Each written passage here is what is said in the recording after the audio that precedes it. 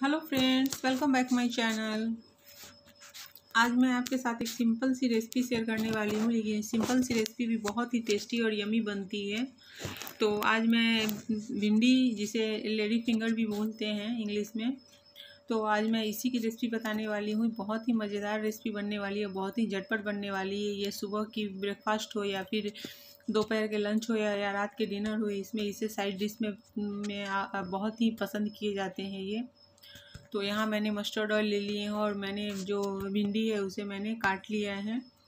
तो हिंदी में इसे भिंडी बोलते हैं, इंग्लिश में लेडी फिंगर बोलते हैं और आपकी भाषा में क्या बोलते हैं अगर आप अलग अलग क्षेत्र से हैं तो तो कमेंट करके ज़रूर बताइएगा। और यहाँ पे मैंने मस्टर्ड ऑयल ले लिया है सरसों का तेल और इसी के साथ में मैं इस रेसिपी को बनाने वाली हूँ और फ्रेंड वेजिटेबल्स जो होते हैं वो मस्टर्ड ऑयल में बहुत ही अच्छे बनते हैं टेस्टी बनते हैं। मैं तो वेजिटेबल्स को मस्टर्ड ऑयल में ही बनाती हूँ। तो यहाँ मैंने थोड़े से जीरे ले लिए हैं और दो लाल मिर्च, मैंने सूखी लाल मिर्च ली है, एक मैंने छोटे कटे हुए प्याज ले लिए हैं। तो कटे हुए प्याज भी ऐसे कोई बारीक नहीं है मतलब रफली चॉप किए हुए हैं तो मैंने उसे डाल दिया है इसमें। और इसे थोड़ा सा ही हम फ्राई करेंगे प्याज को, ज़्यादा नहीं करेंगे क्योंकि हमें भिंडी के साथ इसे पकाना भी है। तो भिंडी को भी फ्राई करनी है और प्याज को यहाँ पे आप ज़्यादा फ्राई कर लेंगे ना तो भिंडी जो है ना वो मतलब भिंडी के साथ में जब प्याज पड़ेंगे तो प्याज जले जले से हो जाएँगे, इसलिए प्याज को बहुत ज़्यादा नहीं फ्राई करेंगे। और मैं इसमें यहाँ पे बहुत ही सिंपल सी रेसिपी है, लेकिन इसमें मैं कुछ ऐसे ट्रिक्स बताऊँगी जिससे कि आपकी जो भिंडी की रेसिपी है उससे बीज वगैरह बाहर नहीं निकलेंगे तो बहुत के एकदम से कचूमर की तरह बन जाते हैं भिंडी, मेरी भिंडी बहुत अच्छी बनेगी।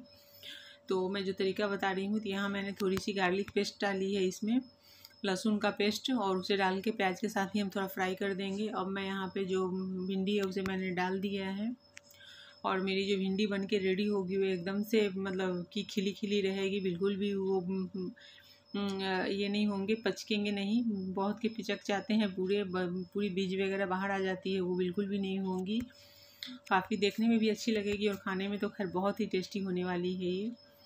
तो इसमें मैं कुछ ऐसे ट्रिक्स आपको बताने वाली हूँ, जिससे कि आपकी भिंडी ना लसलसी होगी, ना ही इसके बीज बाहर निकलेंगे। यहाँ मैंने थोड़ी सी हल्दी डाल दी है और मैं यहाँ पे सॉल्ट डाल रही हूँ अपने टेस्ट के अकॉर्डिंग मतलब जितनी भिंडी है, उसी के अकॉर्डिंग आपको यहाँ पे सॉल्ट ऐड करने हैं और थोड़ी सी टर्मरिक पाउडर तो अब इन सबको हम अच्छे से कर लेंगे मिक्स और इसे हम फ्राई होने देंगे और यहाँ पे वो जो ट्रिक्स मैं बता रही हूँ, वो ये लेमन है। मैं इस लेमन को इसमें डालने वाली हूँ।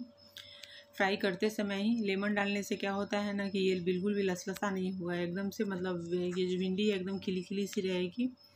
बिल्कुल भी लसलसी नहीं होने वाली है, ना ही इसके बीज निकलने वाले हैं और बहुत ही अच्छे से फ्राई भी हो जाएगी।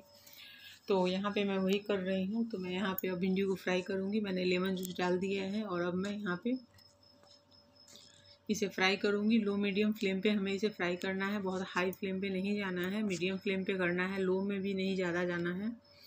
जैसे ही भिंडी के कलर चेंज होने लगेंगे, तब हम लो फ्लेम पे डालेंगे इसे। अब ऐसे फ़िलहाल अभी हम मीडियम फ्लेम पे हमने रखा हुआ है इसे।